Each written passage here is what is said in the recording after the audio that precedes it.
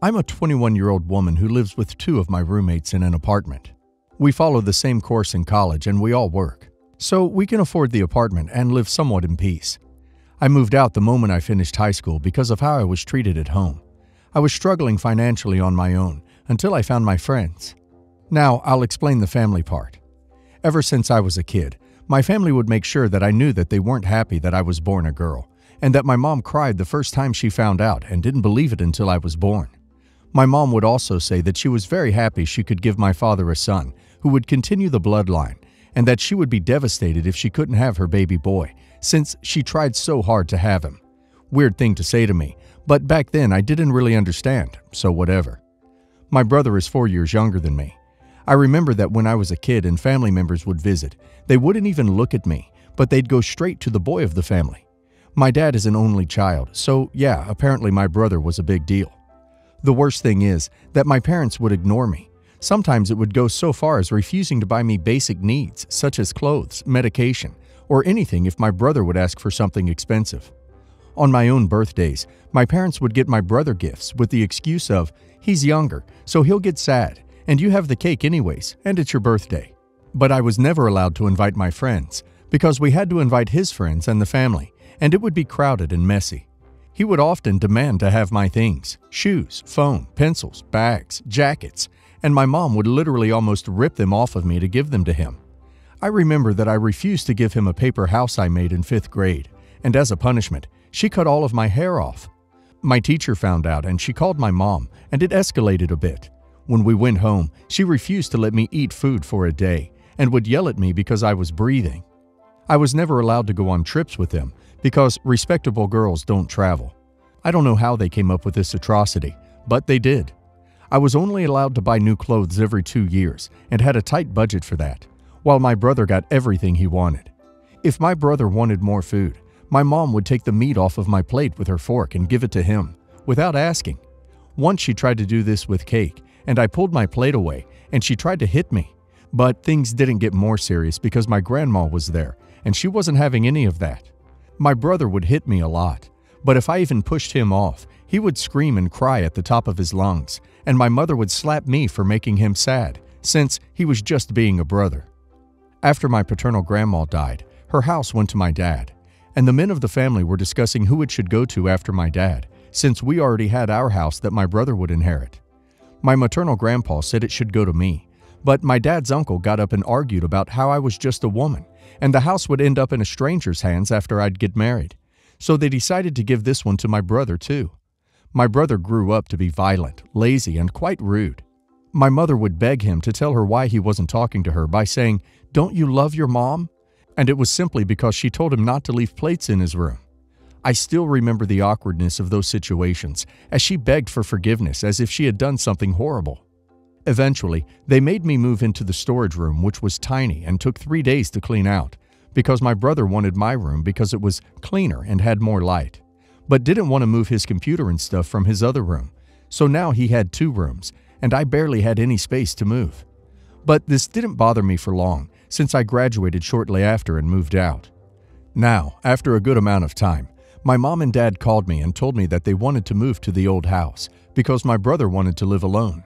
But they couldn't leave him alone, and it would be nice if I sent him food on the daily and clean the house every weekend. I laughed and asked them if they were serious, since this was the first time they called me in a while, and that was the first thing they said.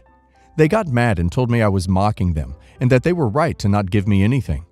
All the anger I kept inside for years got the best of me, and I went off on them. I told them they could make a kangaroo pouch and take their man baby everywhere if they were so worried about him, since they spoiled him rotten to the point where he has zero life skills, and the fact that he is as stupid as they are didn't help. I told them I wasn't going to do crap for them or him, and to never call me again. Later that night, my mom calls me and tells me dad ended up in the hospital after what I said. I asked for proof, and she hung up. Later, my maternal aunt calls me and tells me that my mom is lying and that they are both over at her house for dinner, and how they planned it in front of everyone to lie and guilt trip me. She told me it was messed up, and I didn't have to worry, to just focus on myself. Me and my friends have been laughing, and honestly, I've been crying a bit over this. I just wanted to talk about this since I've kept it to myself for so long. Edit. I want to share with you guys a generous offer my brother made me. He said, You can move back in, but only if you stay in the small room again. Don't come out when I have my buddies over. Clean, and don't spend water and electricity. If the bills skyrocket because of you, I will kick you out. I don't know where he gets the impression that I would want to move back in that house, especially since he expects me to be a maid. He also made sure that I knew that I'd have to move out the moment he got a girlfriend, since he'd have her move in with him and they'd need privacy. At the end, he added, I hope you understand what I mean. I replied with, Don't delete the text with the rules. You might need to forward them to your future girlfriend, since you're dense enough to actually do it. And I blocked him. It honestly is funny. I don't understand where this entitlement comes from. I obviously blocked their numbers, and somehow they found my friends' numbers, and they had to block them too. My mom found my social media and texted me, You have to send him food at least, because I can't move out in peace. Who do you think you are, disobeying me? You're going to hell for this. I've been cackling at this message because I don't remember being born to take care of their mistakes. Not to mention that my parents will still live closer to him. They just want to put their irresponsibility on my shoulders. Apparently, my brother told them to leave since he was an adult and wanted to live as one now, with privacy and they're still trying to blame me for the problems created in a household I haven't been a part of in years. At this point, it's hard for me to take them seriously, and I can't even bother to deal with them, so I just block them. Do not, I repeat, do not climb off this hill. This is a hill to die on. You are not responsible for their man baby. Go live your best life, OP. Of course, they're not going to like it, because they aren't getting their way, so prepare yourself for that. But don't fold. Advocate for yourself because nobody else will do it for you. You've got to be brave for yourself here. Sincerely, a big sister with a man baby brother. Oh boy, your family sucks. They've been unfair to you for long enough. Do not take this parasite with you because he will turn you into his new mummy. Your parents raised him. He is their responsibility, not yours. It is their job to provide for him and provide a future for him, not yours. Let them deal with the consequences of their poor parenting. And if it's gotten to the point where they are lying to you to try to make you do what they want, let them go. I would go no contact, but what you do is your choice. At least you have some nice friends. Also, your aunt has shown they are liars and manipulators. They said if you got the house, it'd go to some stranger. Isn't that what's going to happen when they're all broke or dead and gone, and he doesn't pay bills because he has no idea how, and he gets thrown out eventually, and house taken from foreclosure or whatever? I'll never understand how parents think raising a grown infant is successful parenting. I did not know I was an affair baby until I was 32 years old. Growing up, my mom and I lived with my grandparents and assorted aunts and uncles. I never had a dad, and it was something that no one ever talked about. Because no one ever talked about it, neither did I. Somehow, I got it into my head that bringing it up and asking my mom about it would hurt her and make her feel bad, so I never said a word. I wondered sometimes, but my mom was such a sweet, loving, affectionate mother that it didn't bother me much. I didn't feel like I was missing out on anything that mattered. Once, when I was in junior high, I overheard her and her longtime best friend discussing it all, and I ended up hearing his name. I memorized it, but never said a word about it. When I was 32, Facebook was just starting to be a big thing, and one day I got a message on my profile from a guy a few years older than me with his last name. It was my older half brother. Apparently, on his 21st birthday, he and my father had gotten drunk together, and my father told him all about me. He had sat on this for 15 years until he randomly searched my name on Facebook, and there I was. We started talking, and I discovered that he was four years older than me and that I also have two half sisters one seven years older, and the other is only two weeks older. The truth of the matter is that my father was my mom's closest friend at work. He was married, but having some major issues with his wife, and their little work group went out several nights a week for drinks after work and spent a lot of time together.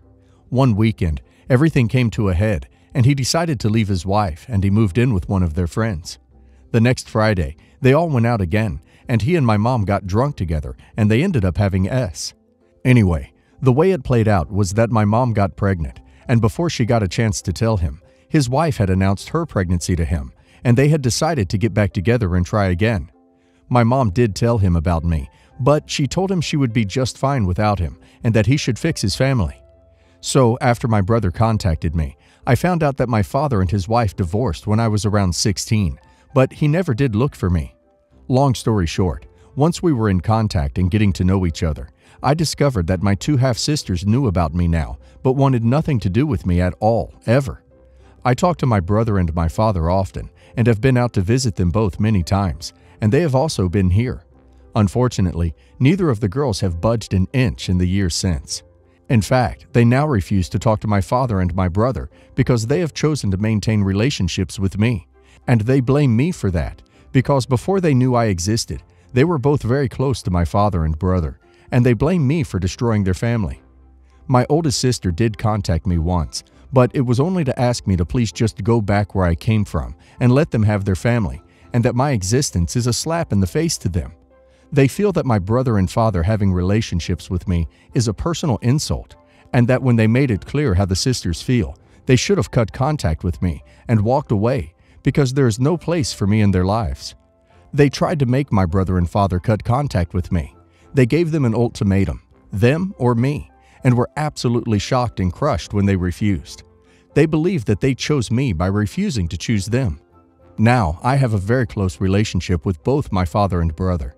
My father and my mom have become close friends again, and my kids adore their grandpa and uncle. We do a lot of holidays and birthdays together, and I really feel blessed to have had my family expand this way. Both my father and brother have reached out to the sisters repeatedly, but they have made it clear that the only way to make amends with them would be to cut contact with me and my kids, and that isn't something they will even consider. Sounds like you got the crappy end of the stick here. I totally understand the sisters cutting off contact with their dad, but to blame you over it is really unfair. I don't understand them being angry with your dad and brother for wanting to have a relationship with you. I get being upset about the affair, but you were innocent in that. The circumstances of your creation are not your fault, and you are blood as well. I can understand the sisters not wanting to have a relationship with you, even, but they shouldn't try to stop others from doing so. I don't think it's fair of them to ask him to choose. Your children are your children regardless of how they came about, and any half decent human should want to have a relationship with all of their children. Wow, what a story! Thanks for sharing. Glad you, your brother, and parents have found peace in all of this. Life is very messy. Hard to imagine what the sisters think they are gaining. What a superb lack of awareness to miss the irony of wanting to punish him for being a negligent father by demanding that he be a negligent father. My girlfriend is Malaysian. I'm American. We both live together in Malaysia and have for the past few years. I've spent Christmas with her family in Malaysia three years in a row. This year, we traveled to the US to visit my family for Christmas. Our plan was for me to stay until mid January, since I hadn't seen my family since pre virus times, and for her to go back on the 28th, so she didn't need to take too much time off work.